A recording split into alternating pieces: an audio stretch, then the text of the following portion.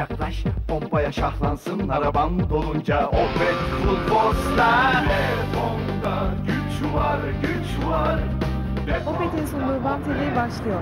Force var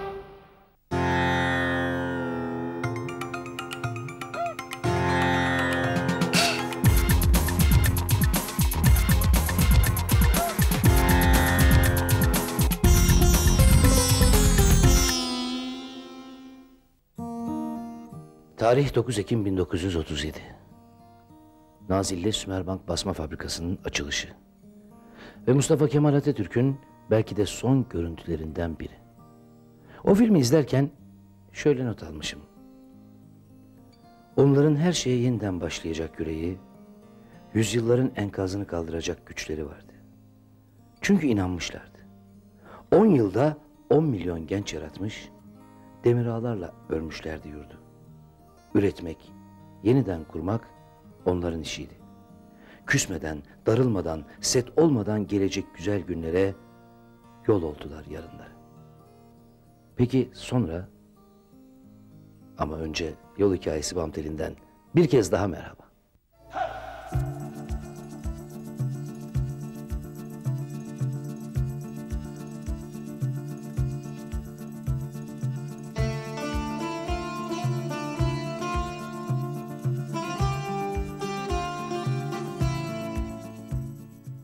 Nazilli Basma Fabrikası'ndaydık. Daha doğrusu çürümeye terk edilen fabrikadaydık. Çünkü 1937'de açılan fabrika 2002 Nisan'ında artık susmuş. Daha doğrusu susturulmuş. Bahane mi yok? Bahane çok arandıktan sonra. Ama işte o bahaneler bir kenti ve dolayısıyla ülkeyi yoksulluğa ve yoksunluğa götürmüş. Üstelik de bu Mustafa Kemal'in eseri. Sözü uzatmayalım da sizi hem o film hem Nazilli Basma Fabrikası'yla baş başa bırakalım. Opet'in sunduğu Bam reklamlardan sonra devam edecek.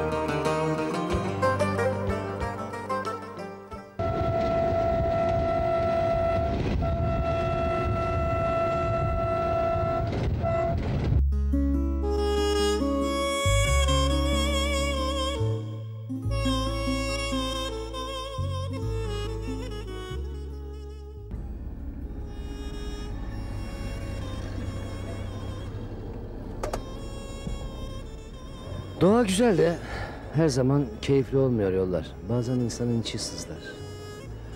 Mustafa Kemal'in 1937'de memleketimizi refaha ulaştıracak dediği sesler Nazilli Basma Fabrikası'nda susmuş. Ne yapalım?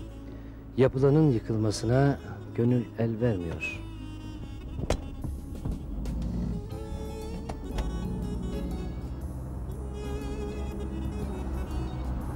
Yenisini koymadan yerine yok etmek. Sanki ulusal bir politika. Yurdun dört köşesinde susmuş çok fabrika gördük de bu ayrı bir dokundu bize. Tarih 9 Ekim 1937. Yani atanın son yılı.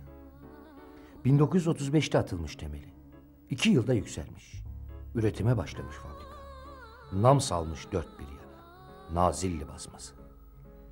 Adını ve yerini bilmezdik de çocukluğumuzda basmasını bilirdik bu şirin kentin. Hep aynı his uyanıyor. Bu terk edilişleri görünce bizde. Bir film seti olsa mükemmel diyecektik ama değil. Çok yakın zamana kadar makinelerle vardiyadaki işçilerin sesleri birbirine karışırdı buralarda. Yönetim binasına ilerliyoruz. Bir müze çıkıyor karşımıza. İşte o anda dalıp gidiyoruz. Sanki Mustafa Kemal hala aynı. Nazilli Basma Fabrikası'nın yapımı 1935 yılında başlıyor ve 25 ay gibi kısa bir sürede bitiriliyor ve 9 Ekim 1937'de Ulu Önder Mustafa Kemal tarafından açılıyor. Mustafa Kemal açış konuşmasında işte halkımıza refah sağlayacak sesler diye tanımlıyor bu açılışı ve açılıştaki sesleri, bu gayreti, bu üretken insanları böylesine selamlıyor. Ve ilk toplantıda şu anda müze olarak kullanılan bu odada bu masaya oturuyor. Masanın da bu köşesine oturuyor. Masada şimdi şöyle yazıyor. Nazilli Basma Fabrikası'nın 91. Teşrin 1937 Cumartesi günü Büyük Önder Atatürk eliyle açılış töreninde Atatürk Şeref Köşesi olarak burayı intihal etti ve bu yerde oturdu. Yine sandalyesinde Nazilli Basma Fabrikası'nın 91. Teşrin 1937 Cumartesi günü Büyük Önder eliyle açılışı törenimizde Atatürk bu sandalyeye oturdu. Atatürk bu sandalyeye oturdu. Bunun bir anlamı var. Niye masanın başında değil? Çünkü o zamanki müdür Fazlı Turga masanın başını e, oturması için gösteriyor Ulu Önder'e. Ama diyor ki hayır buralar sizin, o makam sizin diyor ve kendisi buraya oturuyor. Ve burada Sümerbank Nazilli Basma Fabrikası şeref defteri diyor. İhtas tarihi 9-10-1947.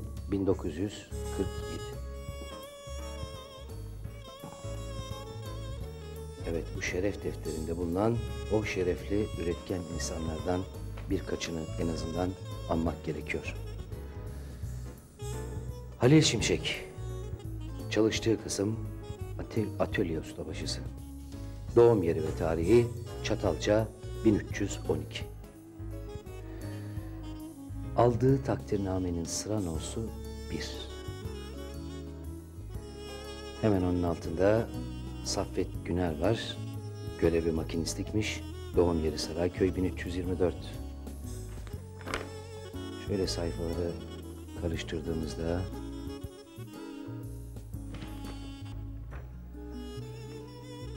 Halil Göksel atölye teknisyeni. İzmir 1325. 6-10-1936 yılında fabrikaya girmiş.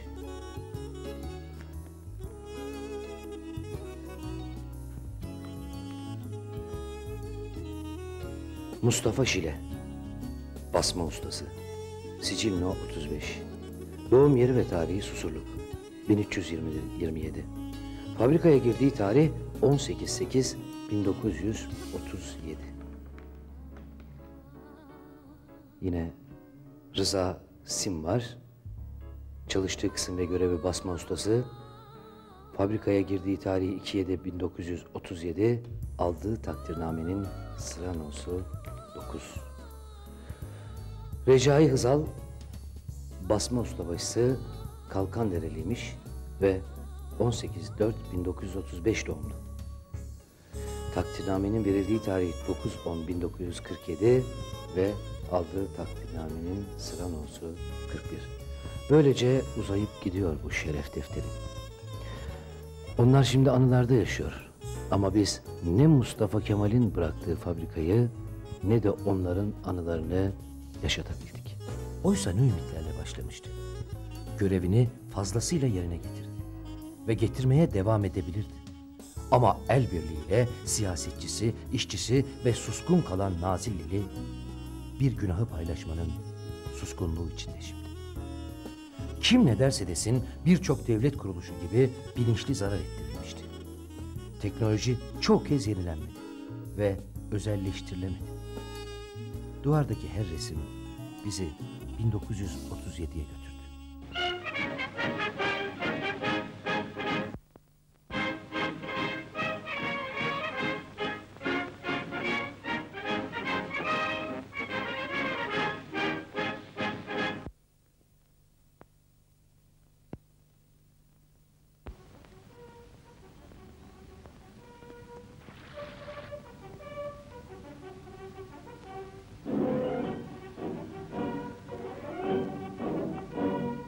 Hükümetimizin birinci beş senelik sanayi planına dahil Sümerbank Nazilli Basma Fabrikası 9 Teşine ve 937'de bizzat büyük önderimiz Atatürk'ün eliyle açılmıştır.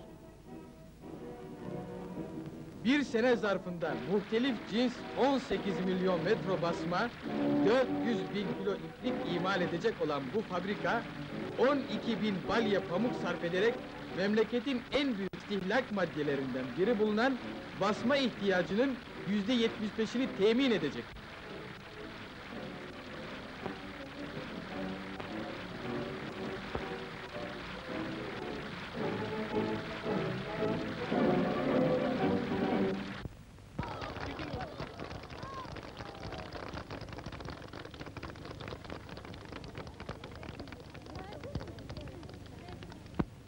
en büyük Türk, Yüce Önder, Cumhuriyet'in Nazilli'ye hediye ettiği basma fabrikasının açılma törenine yüce huzurları ile şeref verdiklerinden dolayı Ulu Önderimize Nazilli halkının minnet ve şükranlarını arz etmeme yüksek müsaadenizi dilerim.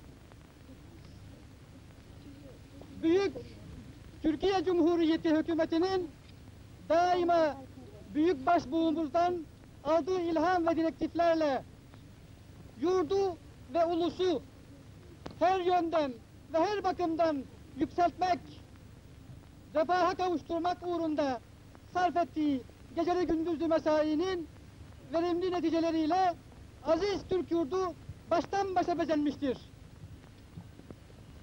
Şimdi şu dakikada açılma töreni yapılmakta olan kombinada o mesut başarılar silsilesine tac olacak değilse bile ek olabilecek ve muhitimize refah getirecek yeni bir sanat abidesidir. Bu itibarla bize böyle kıymetli bir müessese armağan etmek lütfunda bulundukları için Büyük Şef Sayın Atatürk'e ve onun değerli mesai arkadaşlarına Nazilli halkı adına tekrar tekrar şükranlarımı arz ederken bugünkü törene huzurları ile zinet veren bütün yurttaşlarıma da teşekkürü bir borç bilirim. Yaşasın Atatürk!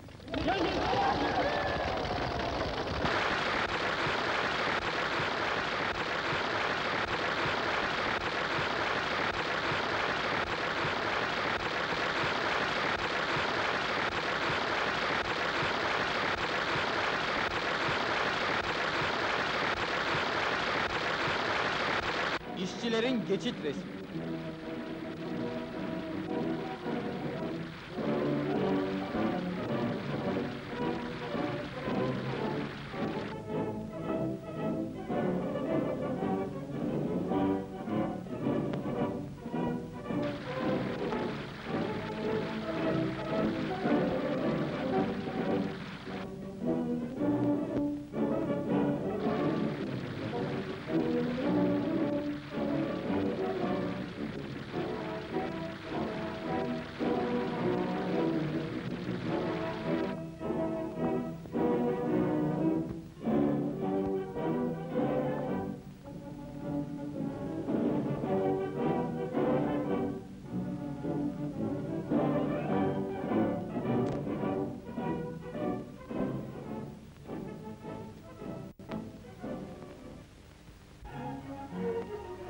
Atatürk'ün hallaç ve harman kısmını gezişi.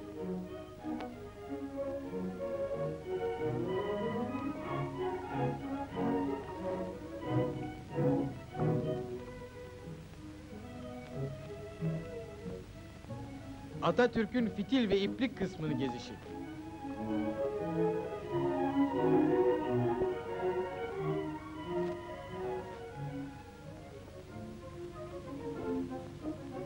Thank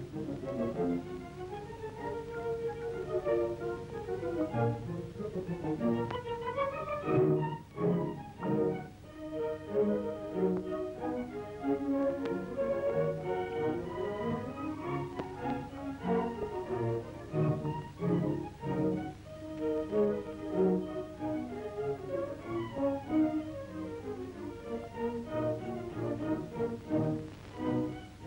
Atatürk'ün basma kısmına girişi.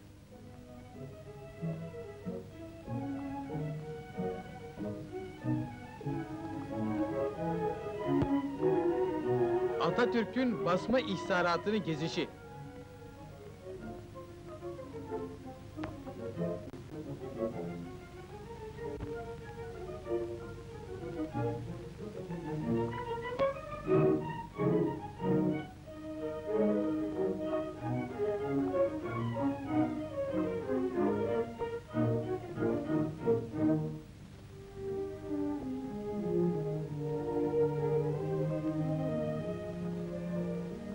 Atatürk'ün fabrikadan ayrılışı.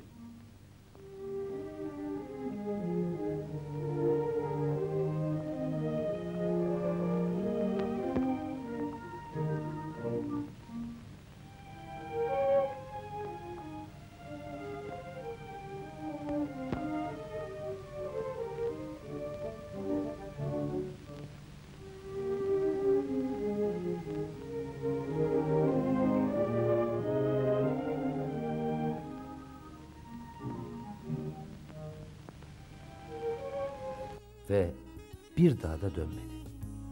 Bıraktığı eserlerin en önemlilerinden biri. Onun izinden yürüyenler her türlü engellemeye karşın 2002'ye kadar üretimi sürdürdüler. Artık Sümerbank Nazilli basması yok. Çünkü bu fabrikada üretim Nisan 2002 sonu itibariyle tamamen durduruldu. Ve kalan işçilerin bir bölümü Bursa'ya gönderildi, bir bölümü emekli edildi. Şimdi 35 işçi, 20'ye yakın memur beklemede. Yani bu fabrika çürümede. Oysa o günlerde kapasitesinin çok altında olmasına karşın günde 9000 metre dokuma, 15 bin metre basma üretiliyordu. Yanlış anlaşılmasın, kimse özelleştirmeye falan karşı değil. Ama bu özelleştirme değil, yoksullaştırma. Önce bir kenti, sonra Türkiye'yi. Peki neden? Nedenini elbette soracağız. Ve ne yapılmak istendi? Ama içimiz ürpererek ve üzülerek gezdiğimiz her metrekaresinde birileri bu kötü gidişin hesabını vermeli diye düşünüyoruz. Belli ki bu arazi birilerinin iştahını kabarttı. Peki onca emek, onca heyecan nereye gömülecek? Mustafa Kemal'in ülkemizi müreffeh seviyeye taşıyacak dediği sesler geliyor kulağımıza yine. Açılış gününe hazırlanan fabrika metal binası üzerinde şanlı bayrağımız bugünü kutlayanların gözler önünde dalgalanıyor.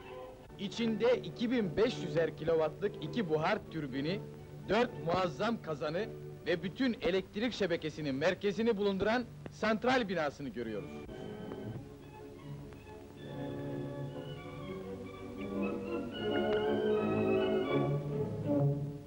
Fabrikanın heyet ummiyesini süsleyen ve zenginleştiren fabrika garajı, irili ufaklı bacaları ile tamirhane binası ve içinde iplik ve dokumasını işleyip hazırlayan iplik ve dokuma binaları, yuvarlak setleriyle inşaat tekniğinde hususi birer mana ifade etmektedir.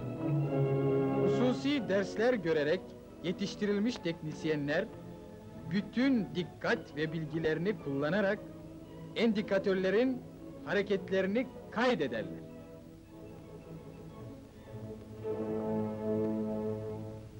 Dokuma dairesinde 768 dokuma makinesi mevcuttur. Bu makinelerin nısfı çapraz ve fantazi zeminli bezler dokur, diğer nısfı düz bezlerin dokunuşunu temin eder. Makineler Northrop tabir edilen ve atkı ipliğini kendi değiştiren otomatik cinstendir. İplik nevine göre 8 ila 24 makine iyi yetişmiş bir işçi tarafından idare edilir.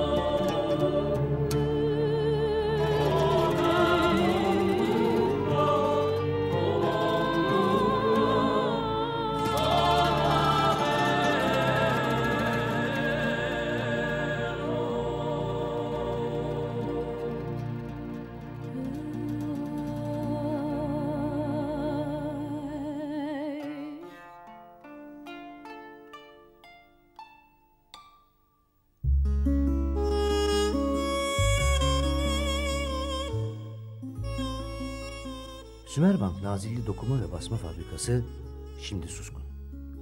Soracağız demiştik ya nedenini, zamanı geldi. Sayın Müdürüm Atatürk'ün kurduğu bir fabrika şimdi bu durumda. İşler acısı. Ve Nisan 2002'de tamamen üretim durmuş. Özelleştirilememişti. Bu üretimin durmasının sorumlusu kim? bu üretimin durmasının sorumlusu evvela bugüne kadar işçi ücretlerinin yüzde 72 maliyet olması. Gösterilen bu. Ancak bu ücreti işçi istemedi. Sadece verildi. Ama bugün bu duruma gelmek ve e, zamanında yapılan popülist yatırımlar, fabrikaların yenilenmemesi, idari kademelerin tam düzgün şekilde çalışmaması, Ankara'dan idare edilmesi ve fabrikaların toplu sözleşmelerini kendi şartlarında yapmaması bugünleri Sümerbank'ı getirmiştir. Ayrıca bu durumları Sümerbank'ın gelmesinde en önemli kaynaklardan birisi Sümerbank'ın finans kaynağı olan bankanın evvela özelleştirilmesi, mağazaların satılması, yavaş yavaş da ölüme terk edilmesidir. Yani önce banka, sonra mağazalar ve yüksek maliyetle üretilen, pazarlanamayan mallar. finans etkiliydi, ücret düşüktü.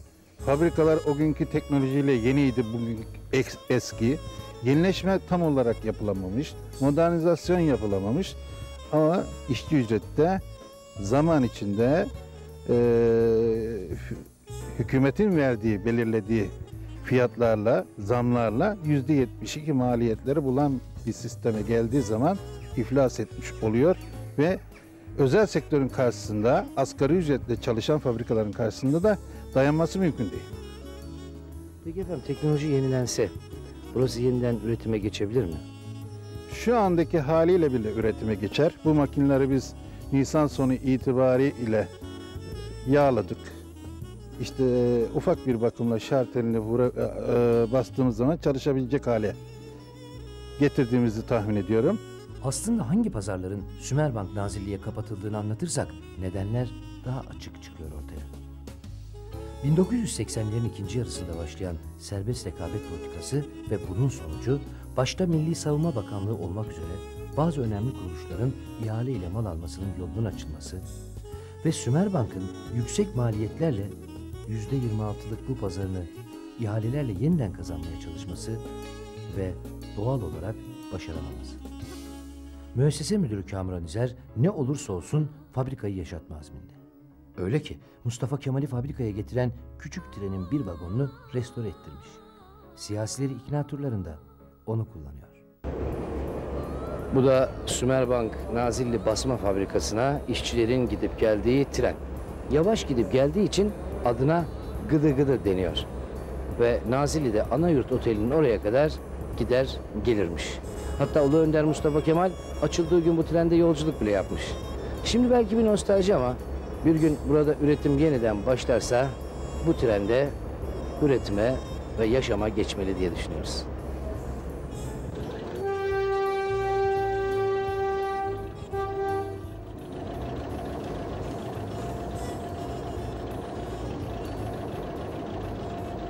Nazilli Basma Fabrikası her anlamda sahipsiz kaldığından yaşıyor bu kaderi.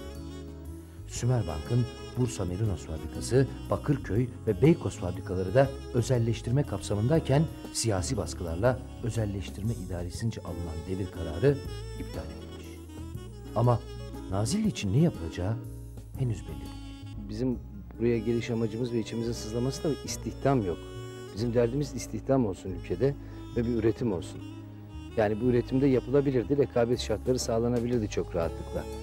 Şimdi e, ben hep şunu söylüyorum, özelleştirmeye karşı değiliz elbette ama bu özelleştirme olmuyor. Mesela özelleştirmeye çıkınca talip çıkmamış mı iş buraya? Vallahi onu tam bilemiyorum. İki defa özelleştirmeye çıkmış. Herhalde düşük veya iptal edildi. Bütün Sümerbanklar mı böyle şu anda efendim? Sümerbankların yüzde doksanı çalışmıyor. Yani böyle e, işçiler ücretli izinde. E, bazı fabrikaları çalışıyor. Mesela kısmen o da. Özelleştirme kapsamında kaç fabrikamız var? Şu anda özelleştirme kapsamında Adnan Menderes Üniversitesi'nde protokol yapılmış. E, tek fabrika burası. Peki Nazilli basma fabrikasının çözümü ne? Teknoloji yenilenirse işleyebilir mi? Teknolojinin yenilenmesi tabii yine IMF karşı çıkacak bu işe. Ee, kapat diyecek, bize yük getiriyor diyecek. Ama buna başka formüller bulunarak yapılabilir. Peki efendim nedir yani sizce formül ne?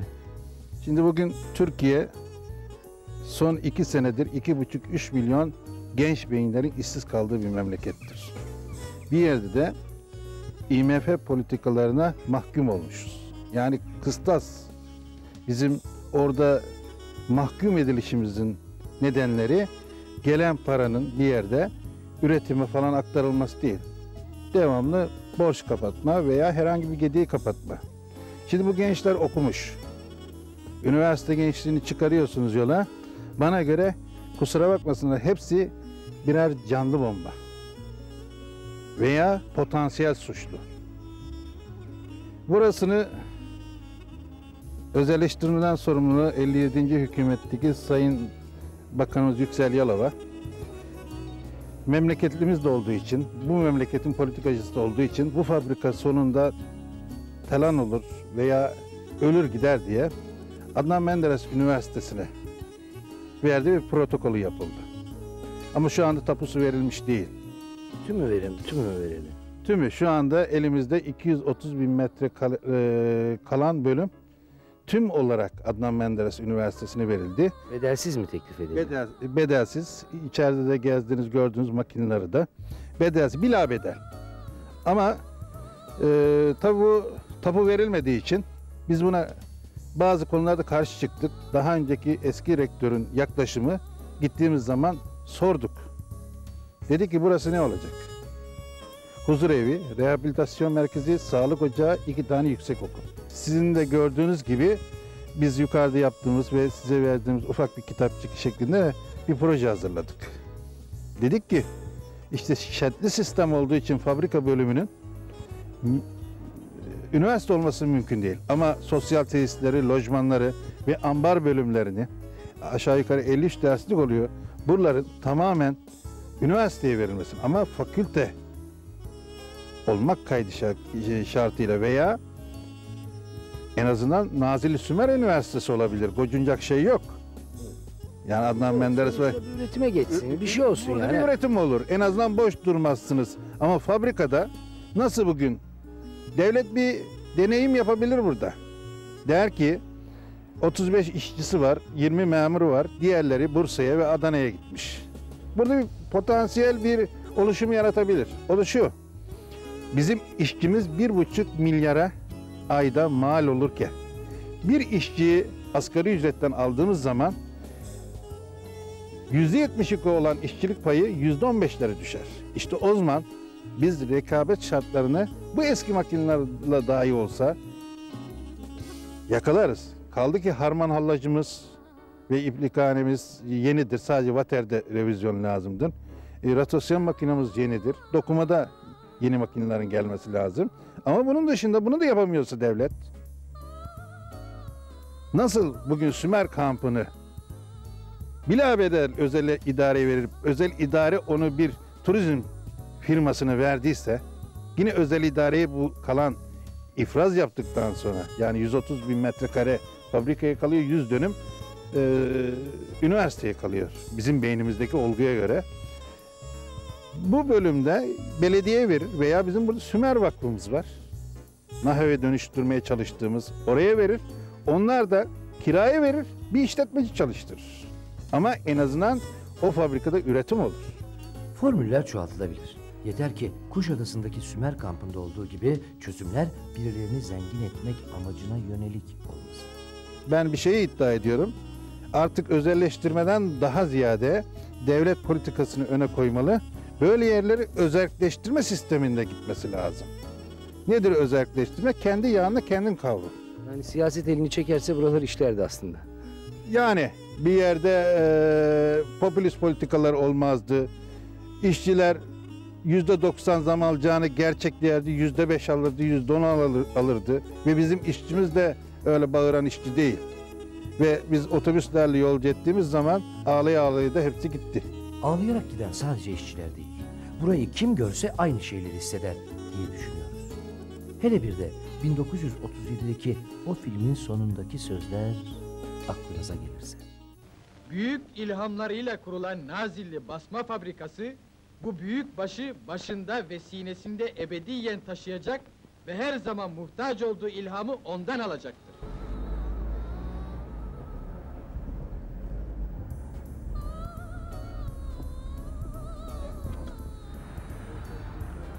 Fabrika zarar ediyor, kapatalım gitsin. Kolay görünüyor. Peki ya insanımıza zarar verenler? Onlara da halk cezasını bir gün veriyor. Ama geç oluyor. İş işten geçiyor, üretim duruyor. Biz bu cinayeti haber verelim istedik.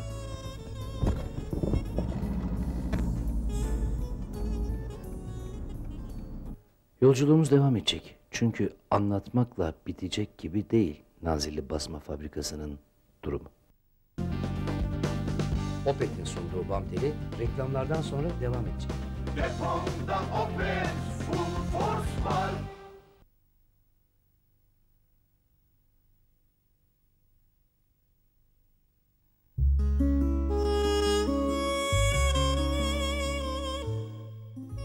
Yüz bini aşan nüfusuyla Nazilli bugün bir emekliler kenti. Sümerbank ve arkasından özel sektördeki bazı fabrikaların da kapanmasıyla Nazilliler başlarına gelenin yeni yeni farkına varmışlar. 30 yıl taksiciyim. Fiilen. Bas- basma fabrikasının kapanması nasıl etkiledi sizi? Çok etkiledi bizi. Her işimize engel oldu. Kim ekmek parası yok millette. Aç, rezil, sefil. Sabahtan beri birinci yıl başı tutmadım. Vergi ödeyemiyoruz. Para kazanç yok. Geliri yok, gider çok. Peki size soralım. Siz kaç yıllık taksi? Ben 27 yıllık taksiyim efendim. E, Sümerbank'ın kapanması tabii Nazilli'nin kötü bir e, etkisi oldu. İşsizlik çoğaldı. E, Sümerbank'ta çalışan 3000 kişi falan işçi vardı duyduğumuza göre. Kapanınca tabii o insanlarımız e, şey oldu, yani işsiz kaldı. E, esnaf kesim bunlardan alışveriş yapıyorlar. Dışarıdan gelen arkadaşlar mesela bunların sayesinde e, alışverişlerini yapıyor. Yani ekonomimiz düzgün Nazilli. Şu anda emekli yasaldı. Bir, hiçbir şeyimiz yok şu anda Nazilli'de. Yani bir köy gibi oldu. Ee, sanayi çarşımız var. O da yarısı dükkanların kapalı, yarısı açık. Aç tok millet geziyor. Sümerbank açılsa Nazilli için güzel bir olay olur. Makine mühendisiyim. Sıvı tesisat malzeme satıcılığıyla uğraşıyorum. Ee, ekonomik şartlardan işlerimiz çok kötü. Gerek esnaf olsun, gerek işçi olsun, gerek çalışan elemanlarımız olsun. Herkes karnını doyurmaktan aciz durumda şu anda. Bölge çiftçilikte uğraşıyor. Tarım bölgesi. Ee, Atatürk'ün 1945'te kurmuş olduğu Sümerbank fabrikası maalesef kapatıldı. 37. 37 pardon yanlış hatırlıyorum. Sanayiye dönük bir köy taşımız vardı. Dokumaya dönük o kapatıldı. Sadece bir uğur dondurmamız var. Uğur soğutmamız var. Bölge tarıma dayalı.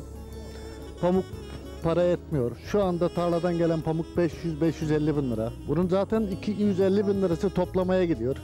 İşçiliğe gidiyor. Ne esnaf mal satabiliyor, ne işçi karnını doyurabiliyor. Tam bir çıkmaz bir haldeyiz. Peki bu fabrikalar kapatılırken Nazilli'den hiç ses çıkmadı mı? Hiçbir ses çıkmadı maalesef.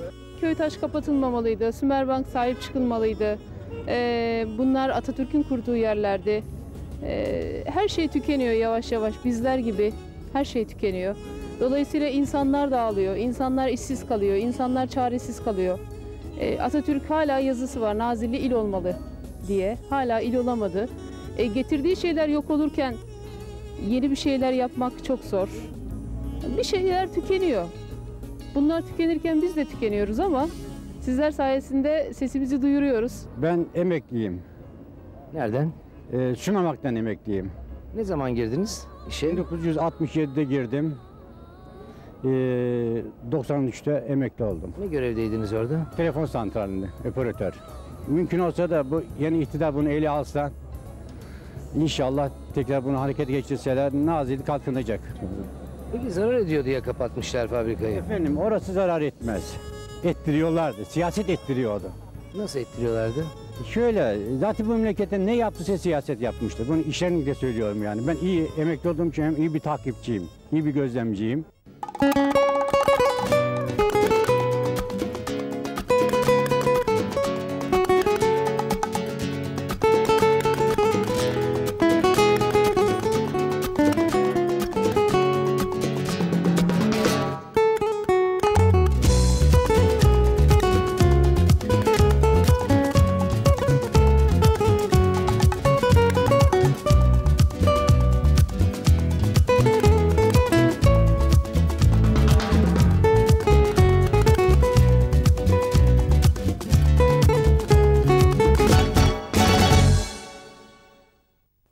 Basma Fabrikası'nın öyküsü böyle.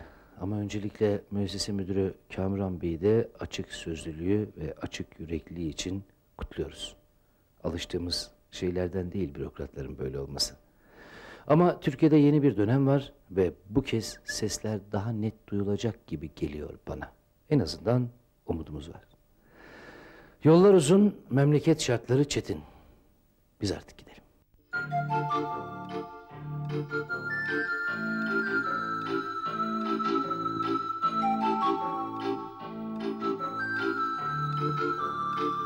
Thank